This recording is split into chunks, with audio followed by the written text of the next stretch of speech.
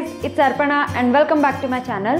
And in today's video, I'm going to show you how you can convert your old salwar or patiala into a palazzo pant with pockets. So I hope you guys like this and let's get started.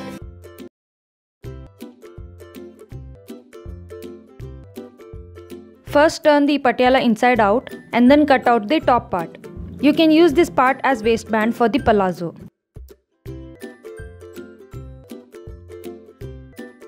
And then cut out the cuff at the bottom of the pant.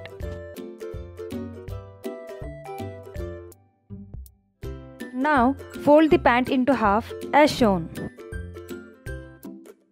Then place a palazzo or any loose pant on it such that it covers the maximum part and mark and cut it out.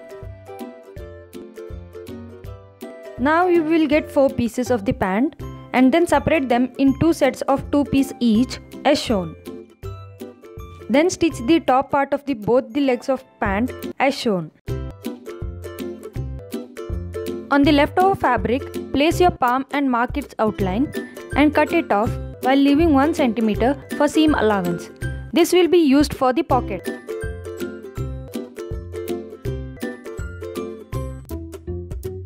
Cut 4 such pieces and stitch 2 pieces together as shown. Place your pant pieces with their good side facing each other and stitch as shown. Do not stitch at the top part as that's where we will attach the pockets and the waistband.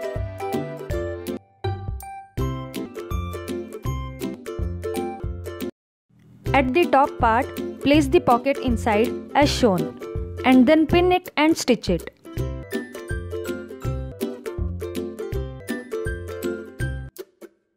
Then measure how wide you want your waistband to be and cut it out.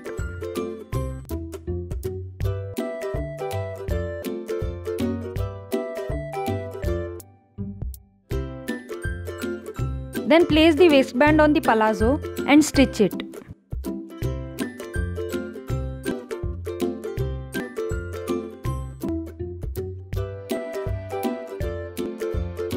At last, hem the bottom part of the pants.